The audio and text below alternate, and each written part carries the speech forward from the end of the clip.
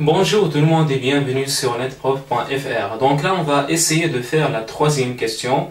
Donc il est demandé de déterminer directement le potentiel électrostatique V créé au point M par le disque. Si on vous demande de déterminer directement le potentiel, eh bien qu'est-ce que ça veut dire? Ça veut dire tout simplement euh, qu'il est interdit d'utiliser la relation E est égal moins grade V. Si on vous demande de de trouver euh, le potentiel fait directement, eh bien, n'utilisez pas cette relation. Il faut euh, déterminer le potentiel de manière directe. C'est ce qu'on va faire. En fait, c'est très simple. J'ai un disque.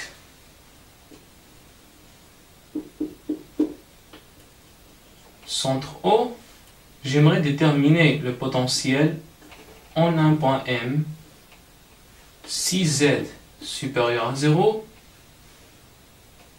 et bien sûr j'aurai aussi le cas pour Z inférieur à 0 pour M, M' par exemple. Donc, euh, je pars bien sûr toujours d'un petit élément ds centré sur P. Donc, qu'est-ce que je sais? Je sais que dv, je sais que dv en m est égal dq en p dq c'est sigma ds. ds est égal rho d rho d phi donc sigma rho d rho d phi sur 4 pi epsilon 0 et tout simplement, cette distance-là, PM, PM, est égale sigma root d root d phi sur 4 pi epsilon 0. PM est égal à combien? Eh bien, PM, c'est racine rho carré plus z carré. Tout ça, c'est du déjà vu. Donc, si je vais en M, eh bien, c'est double intégrale disque. Rho, euh, bon, euh, sigma sur 4 pi epsilon 0, c'est une constante, donc j'ai le droit de la faire sortir de ma intégrale. Parce qu'il a dit que sigma est uniforme, 4 pi epsilon 0, c'est constant, bien sûr. Donc, pour ce qui concerne rho, de 0 jusqu'à grand R, rho des rho sur racine rho carré plus z carré, intégrale de 0 jusqu'à 2 pi dphi pour ce qui concerne intégrale de 0 jusqu'à 2 pi, phi est égal à 2 pi, simplifier ça va me donner 2 epsilon 0, donc j'ai déjà simplifié, donc j'ai déjà calculé ça, voilà. Sigma sur 2 epsilon 0. Pour ce qui concerne intégrale de 0 jusqu'à r rho d rho sur racine rho carré plus z carré, eh bien c'est très simple. Euh, ça va nous donner... Euh, ça va nous donner racine, euh, donc donc ça va nous donner, bon, ça va nous donner racine au carré plus 7 carré, je suppose, de 0 jusqu'à grand R. Bon, si vous trouvez des problèmes avec ça, il suffit de faire la chose suivante. Il suffit de simplifier ça. J'ai roue des roues sur racine roue carré plus z carré. Transformez-la en roue, euh, en roue, euh, roue carré plus z carré à la puissance 1 sur 2.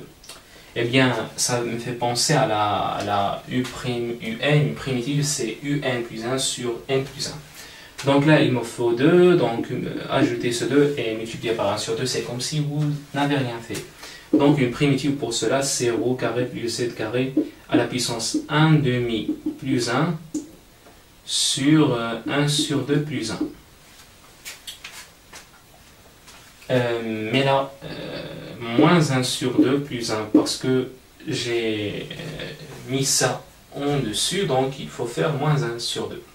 Voilà, donc c'est 2 roues sur ρ carré plus z carré à la puissance moins 1 sur 2. Parce que j'avais ρ sur euh, ρ des roues sur racine ρ carré plus z carré. Vous savez que racine ρ carré plus z carré, c'est ρ carré plus z carré à la puissance 1 sur 2. Si on la place en dessus, ça va nous donner euh, ρ carré plus z carré à la puissance moins 1 sur 2. Donc c'est-à-dire que euh, ça, ça donne euh, tout simplement, donc n'oubliez pas le 1 sur 2. Moins 1 demi plus 1 sur 2, c'est 1 sur 2. Simplifié, et ça, c'est 1 sur 2, donc une primitive, comme je l'ai dit, c'est ρ carré plus z carré racine donc euh, la puissance 1 sur 2. C'est-à-dire que ça va donner sigma sur 2 epsilon 0 racine rho carré plus z carré de 0 jusqu'à grand R. C'est sigma sur 2 epsilon 0 racine r carré plus z carré euh, moins racine z carré. Racine z carré, c'est exactement z en valeur absolue. C'est exactement z en valeur absolue. Donc, V en M c'est sigma sur 2 epsilon. Donc, donc euh, si z est supérieur à 0, alors v plus, la borne plus, est égal sigma sur 2 epsilon 0 racine r carré plus z carré. Mais là, moins z en valeur absolue. Moins z en valeur absolue parce que j'avais racine z carré. Racine z carré, c'est z en valeur absolue. Donc moins z. Si z est supérieur à 0, comme vous savez, z en valeur absolue est égal à z. Maintenant, si z est inférieur à 0, alors v- est égal sigma sur 2 epsilon 0 racine r carré plus z carré plus z. Voilà, c'est tout pour euh, la détermination du potentiel électrostatique V créé au point M par le disque. En fait, c'est très simple, ça ne pose pas trop de difficultés. Donc voilà, bon là j'ai plus, disons la borne plus, et pour euh, V-, disons bon la borne moins, voilà. Donc j'espère que c'est bien clair. Donc après, il est demandé, dans 4, il est demandé de déterminer le champ et le potentiel électrostatique d'un plan infini uniformément chargé.